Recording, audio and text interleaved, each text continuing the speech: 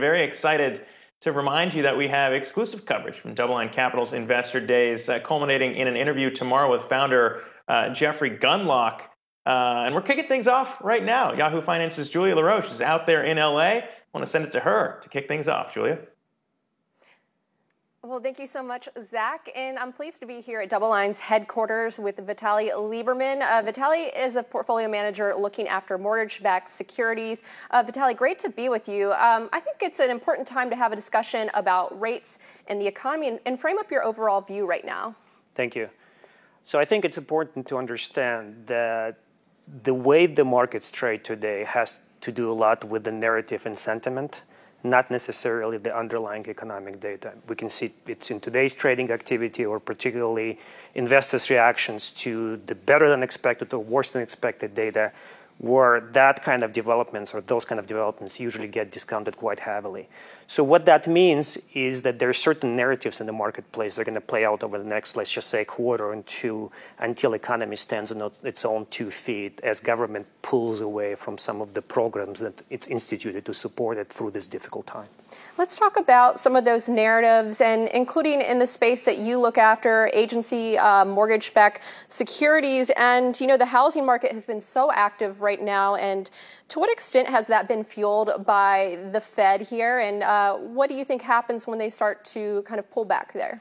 Yeah, I think that that's one of the areas that's going to be heavily affected by the Fed's activity. It really has to be has to do with the nature of housing market, that being non-tradable goods that are most affected by flow of funds, and given the high level of liquidity that exists in the marketplace and coupled with high saving rates and low overall interest rates, that certainly gave a boost to housing market, particularly given that there are changing trends in terms of what, how people assess and view uh, their their houses or their, their, dwellings in terms of the go forward kind of dynamics. So in the past, if we thought about the urbanization, now we're going to talk a little bit more about more of you know having a yard or having a nice house that became a lot more important. So I think those trends are going to persist here until a interest rates rise, if that's the case, or if Fed pulls away, potentially the kind of level of rates that exist in the housing market could increase, and therefore that could dampen the housing activity on a go-forward basis. Mm-hmm.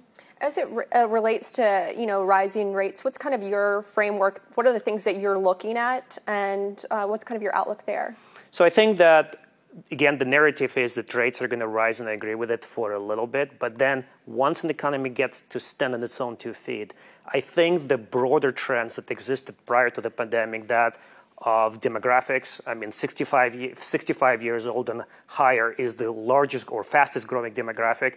Uh, in terms of the overall productivity kind of enhancement, the information technology, software, and so on, and certainly the level of debt. Remember, we're going to exit this pandemic with government uh, with debt to GDP ratio, total debt to GDP ratio of about 370 percent. That is significant. So I think that is one area where investors might be surprised in terms of the level of rates that we're ultimately going to achieve. Mm-hmm. You know, there's a lot of discussion these days about inflation. We got the CPI print this morning. Um, can we talk about inflation and what kind of risk that poses to the housing market if those rates go up? Yeah, of course. So clearly, the, the inflationary pressure on a surface is beneficial from the standpoint of the pricing of the houses, right? Clearly, the houses are the, one of the beneficiaries of the rising, uh, rising overall prices, and they, as we've seen, have benefited significantly. The housing market was on fire. But again, housing market is a function of affordability or, or overall mortgage rates, as well as overall trend in people's ability to afford such product.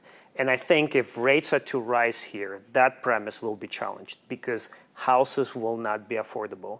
And we've seen this before. I mean, if you think about, you know, circa 2006 kind of experience, was when prices got to the point where essentially they become mostly unaffordable, and that really capped the, the growth rate in terms of the pricing in the housing market. You're talking about affordability when it comes to housing, and it does make one wonder, you know, how sustainable is this current run up that we're seeing, and at what point do we think that those prices might start to come back to earth?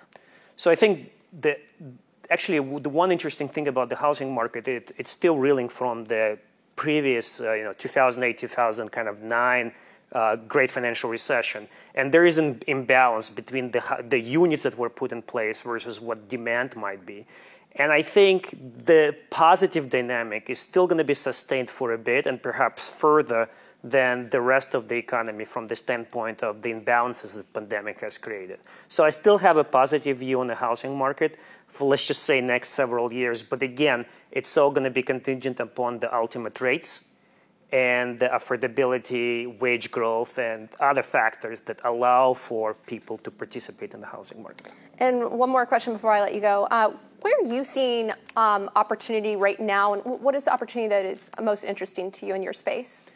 What's, what's interesting about this episode is I've mentioned to you that uh, essentially debt is at the highest level it's ever been, and in, in, in absolute terms and relative terms to GDP.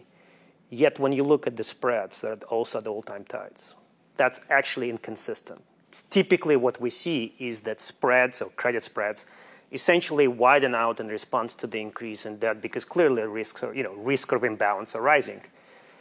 So I think that it would be important for investors to exercise caution, not to chase hot trends right now, play defense because it's very easy for this hot trend to reverse itself once the economy has to stand on its own two feet.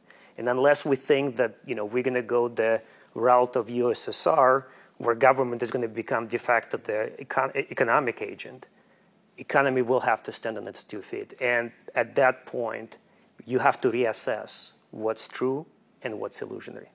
Exercise caution. Well, Vitaliy Liberman, portfolio manager for agency mortgage-backed securities here at DoubleLine. I thank you so much for your time and thanks for having us here. Really looking forward to these discussions.